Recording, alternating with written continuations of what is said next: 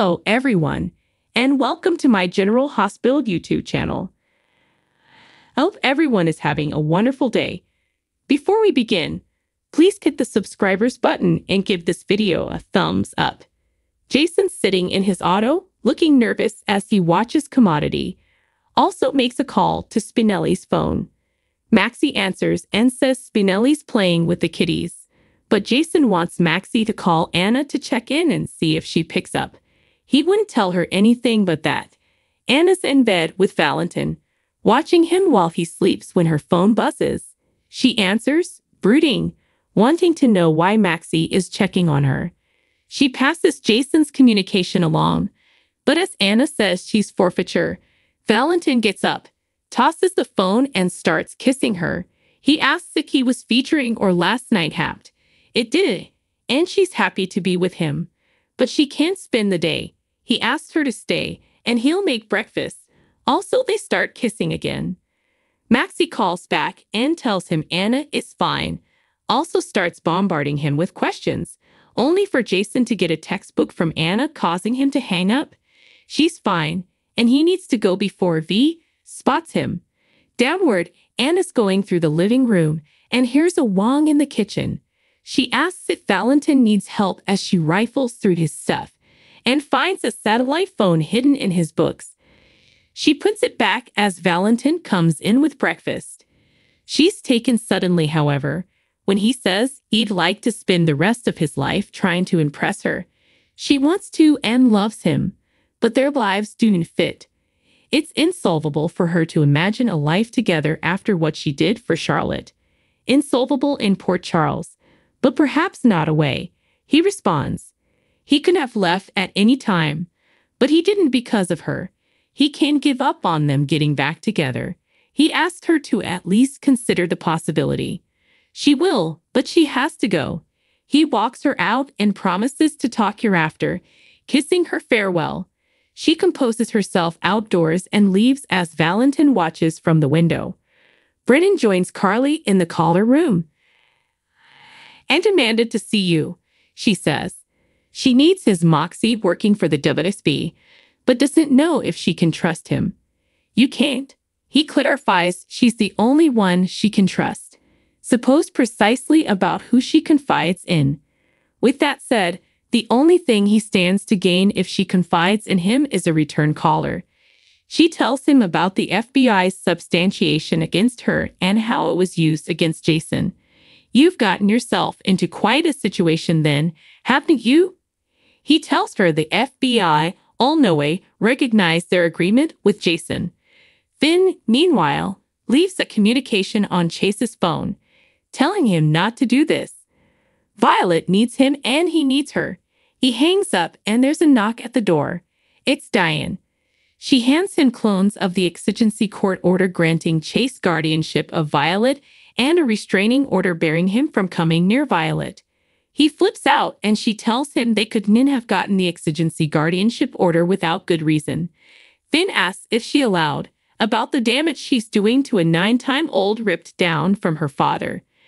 Diane passes along the communication that Violet is doing great and having fun, and when she tells Finn his son is staying to break her breath holding recorded until he can watch her, he breaks down. You can take my little girl from me. She leaves after advising him getting arrested in front of his son will make effects worse. Finn pulls it together, picks up the phone as soon as she's gone, and calls Scott. When he gets over, Finn lays it all out, asking for help. Scotty asks what happened with Tracy and Violet, but Finn insists the papers exaggerate what happened with his bad night. Scott looks uncomfortable as Finn harangues about the Quartermaines, lying to Violet Brook Lynn and Chase always looking to steal his son.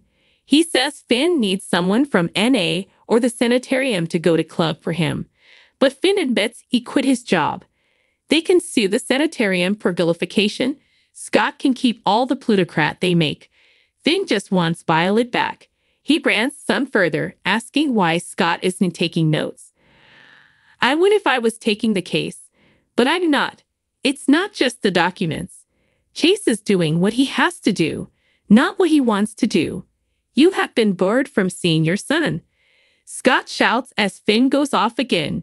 You can't fix this until you fix yourself. Back at his place, Sonny comes home and Ava notes Rigel must have gone well. She didn't see him last night. He tells her to get used to it because you're going to be seeing a lot lower of me from now on. She's moving out. Ava wants to know where this is coming from. She offered to leave many months agone. And he said no. She took it to mean she could stay as long as she wanted. Sure, he says. But effects change. We're over. And that's it. That's all you need to know. She says she'll be out when she finds a place. But he says no, she'll be out now. And Avery will stay with him until she finds a place. She's not staying another night. He calmly tells her, We're done. She tries using Avery to stay, and Sonny says their sprat lived with them piecemeal for times. She'll be fine. He made up his mind. Ava tries telling him that she's the only one he can trust, also goes off on everyone differently in his life. Why? Sonny demands. Does she have an angle? Everyone has one. Plutocrat, power, vengeance. They get into her getting Alexis disbarred, and Ava says she did everything right. She inked an affidavit. Who are you to judge? Sonny yells, You killed Connie. Perhaps I should subscribe an affidavit against you. He also gets into how she was responsible for Morgan's death, and Ava gets emotional saying she's truly sorry. She loved him, but Sonny won't lecture her. She's not the reason that his family lies in shambles. There's only one thing that all their troubles have in common you. Jason stops by the sanitarium to check on Liz, and they talk about Violet and how she's doing.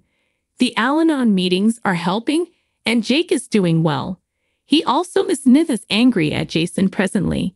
He's going to keep trying with Jake to make sure he knows he's there for him. Jason's going to try to get baseball tickets, and Liz says that's great. But she's not going to tell her son what to do. She does hope he'll go with Jason, however. Outside, Anna and Jason meet, and she tells him he didn't have to stay outside of Valentin's house all night. He's dangerous, but not to her. He's trained in surveillance, and she's honestly surprised he didn't discover Jason. She tells Jason about the phone, but didn't have time to get information. It seems like that's how he conducts business for Pikeman. In the show's final moments, Scott runs to Liz demanding to know why she didn't tell him Finn was in similar bad shape. He could have helped her and the boys if he'd known. Scott tried to get through to Finn, but he doesn't suppose he did. He knows commodity about this, and Finn has to hit Gemstone Bottom first. He doesn't know. Everyone's is different, but he does know it's going to hurt to watch.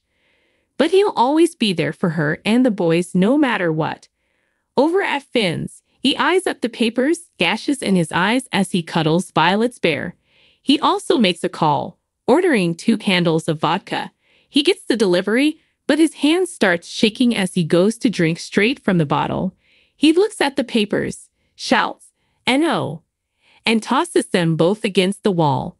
Brennan tells Carly that Jason's too useful to let go. They'll find further ways to work him until he's tapped out or dead. And as soon as he's not useful, they'll put Carly in captivity. The government no way leaves charges on the table. Carly says it's no way going to be over, isn't it? Brennan says she's got time on her side. She can prepare for court while Jason gets what the FBI wants. Someday, she'll have to defend herself in front of a jury. She thanks him for his advice and leaves. Jason asks if Anna can get back into Valentin's house. Yes, but she can't help but feel like she's betraying him. But the job is the job.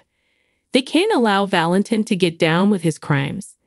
Val, meanwhile, is on the phone, organizing a payload, telling someone that Sonny wouldn't be a problem.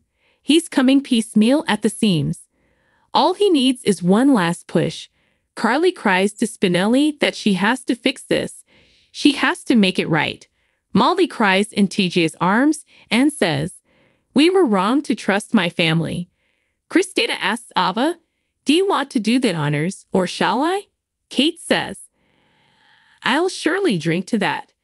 Violet asks Brook Lynn, What if he thinks I didn't love him presently? Chase calls someone for help. Vince smothers at Tracy. If anyone tries to stop me, I'll call the police. Thanks for watching if you like this video. So please don't forget to subscribe my channel and don't miss any updates.